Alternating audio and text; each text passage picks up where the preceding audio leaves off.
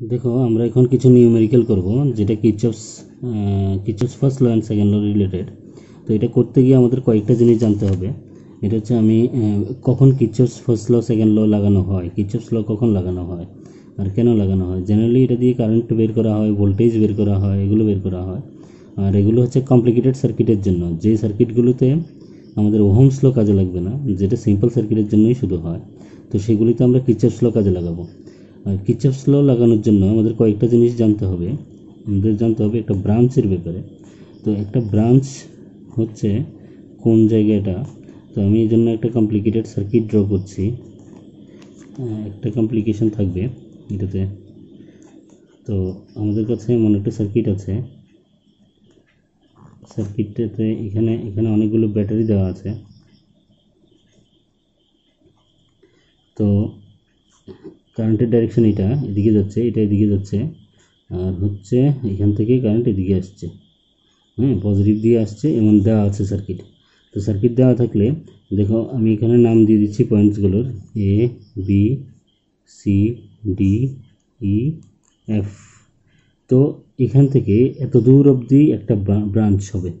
A F A B C এটা অবধি একটা ব্রাঞ্চ এই ব্রাঞ্চটাতে কারেন্ট সবটা জায়গায় কারেন্ট সেম কারেন্ট থাকবে। এখানে যদি আমি এটাকে আই ওয়ান লিখে দিই, তাহলে এই পয়েন্টে আই ওয়ান কারেন্ট এই পয়েন্টে আই ওয়ান কারেন্ট এই পয়েন্টে I one I one I one I one এখানে এতটুকু অবধি আই ওয়ান থাকবে। এটাকে যদি আই টু লিখে দিই, তাহলে এখানে সবটা ব্রাঞ্চের মধ্যে হ্যাঁ এখানে আই টুই থাকবে। এটাকে যদি আমি আই থ্রি লিখে দিই কারেন্টটাকে আই থ্রি লিখে দিই, তাহলে এখান থেকে শুরু করে, এখান থেকে শুরু করে, এখান থেকে গিয়ে এত দূর অবধি আই থ্রি কারেন্ট থাকবে। এখানে কারেন্টের কোনো চেঞ্জ হবে না। তার মানে কি হচ্ছে আমি এই পয়েন্টটা একটা জাংশন তো এটার মধ্যে আমি ইচ্ছে করলে জাংশন রুল লাগাতে পারব। জাংশন রুল মানে Kirchhoff's first rule Kirchhoff's first rule তো কিচপস ফার্স্ট রুল মানে ক্যাসিএল ক্যাসিএল আমরা লাগাতে পারব। তাহলে আমি দেখাচ্ছি ক্যাসিএল কীভাবে লাগানো যাবে। Applying KCL at F F পয়েন্টে আমরা ক্যাসিএল লাগাতে পারব। এফ পয়েন্টে যদি ক্যাসিএল লাগিয়ে দিই, যেটা ইনওয়ার্ড কারেন্ট আছে, যেটা আসছে এই পয়েন্টের দিকে এটা হচ্ছে আই ওয়ানটা এটা পজিটিভ হবে আই থ্রিও আসছে, এটা পজিটিভ হবে, আর যেটা বেরিয়ে যাচ্ছে এটা নেগেটিভ হবে আই টু ইকুয়ালস জিরো লেখা যাবে। তার মানে কি I one plus I three equal to I two কেন জিরো লেখা যাবে? কারণ কিচ্ছস ফার্স্ট ল এটাই বলেছে। তো এখানে একটা ইকুয়েশন পেয়ে গেছি, এইভাবে কিচ্ছস ফার্স্ট ল ইউজ হবে। এখন এই পয়েন্টে কিচ্ছস ফার্স্ট ল ইউজ করার কোনো মানে হবে না, কারণ এই পয়েন্টে যা হবে, এই পয়েন্টে তাই হবে সেমই হবে। একই জিনিস আসবে। তো কিচ্ছপ সেকেন্ড রুল যেটা আছে সেকেন্ড ল যেটা আছে যেটা কেবিএল আমরা বলে থাকি, তো কিচ্ছপ সেকেন্ড ল কীভাবে লাগাবো? তো এটা লাগানোর জন্য এটা আসলে একটা লুপ রুল তো এর জন্য লুপকে কনসিডার করতে হবে। লুপ এখানে তিনটে আছে, একটা হচ্ছে এটা, একটা হচ্ছে এটা, নিচেরটা আরেকটা হচ্ছে বড় রেক্টেঙ্গেলটা এখানে তিনটে রেক্টেঙ্গেল আছে, তো তিনটে লুপ আছে। তো আমি একটা লুপ নিচ্ছি A B C F and A এভাবে করে একটা লুপ নিচ্ছি। এবার এখানে যে সাইন কনভেনশন আছে, ওইটা ফার্স্টে বোঝাচ্ছি। তো এটা শুধু সাইন কনভেনশন বোঝানোর জন্য। এখানে আমরা এক্সাম্পল করব না এক্সাম্পল তারপর করব। তো সাইন কনভেনশনের জন্য এদিকে যদি আমি এ থেকে এ থেকে প্রথম বিতে যাচ্ছি এ থেকে বিতে গেলে, দেখো আমরা কারেন্টের ডাইরেকশনে অপোজিটে যাচ্ছি। তো এখানে যে জিনিস সাইন কনভেনশনের জন্য আমাদের শিখতে হবে কারেন্টের ডাইরেকশনে যদি অপোজিটে যাই, তাহলে আই একটা পজিটিভ হবে। অপোজিটে অপোজিটে আই আর পজিটিভ হবে। অপোজিট হলে এটা পজিটিভ দেবে পজিটিভ আর যদি কারেন্টের ডাইরেকশনের ডাইরেকশনে যাই সেম ডাইরেকশনে সেম ডাইরেকশনে যাই তাহলে এটা নেগেটিভ হবে আইআরটা নেগেটিভ হবে।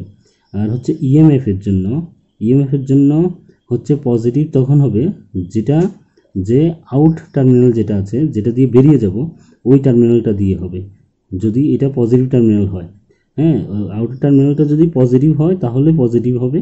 যদি আউটার টার্মিনালটা আউটার টার্মিনালটা নেগেটিভ হয়, তাহলে এটা নেগেটিভই হবে। আউটার টার্মিনালটা যদি নেগেটিভ হয়, তাহলে নেগেটিভ হবে। তো এইটা হচ্ছে সাইন কনভেনশন আমাদের। এখন আমি এই লুপটা যখন নিতে যাচ্ছি এ থেকে বিতে যখন যাচ্ছি, দেখো কারেন্টের ডাইরেকশন এদিকে আছে, তার মানে সবটা জায়গায় এদিকে, সবটা জায়গায় সেম কারেন্ট এতটুকু অবধি সেম ব্রাঞ্চের মধ্যে।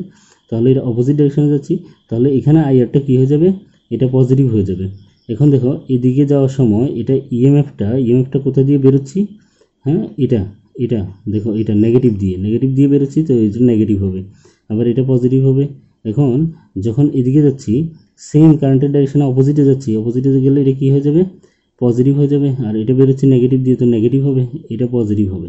এখন যখন এই লুপটা আমি নিয়ে নেব, দেখো, এই লুপটা যখন আমি নিয়ে নেব, তখন সিমিলারই হবে।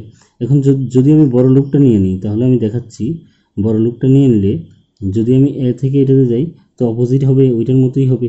তো যখন এদিক দিয়ে যাব, তখন সেম ডাইরেকশন হবে। তো সেম ডাইরেকশন হলে দেখো, এখানে বেরোচ্ছে কি দিয়ে? প্লাস দিয়ে। তো প্লাস দিয়ে বেরোলে এখানে কি হবে? পজিটিভ বসবে। কিন্তু এখানে দেখো কারেন্টের ডাইরেকশন সেম ডাইরেকশন আছে, যাচ্ছি।